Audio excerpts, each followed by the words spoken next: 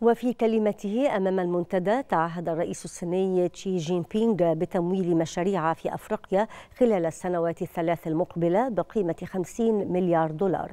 أضاف الرئيس الصيني أن بكين ترغب في تعميق التعاون الصناعي والزراعي والتجاري والاستثماري مع القارة مشيرا إلى أن الصين وأفريقيا ستنفذان 30 مشروعا لربط البنية التحتية.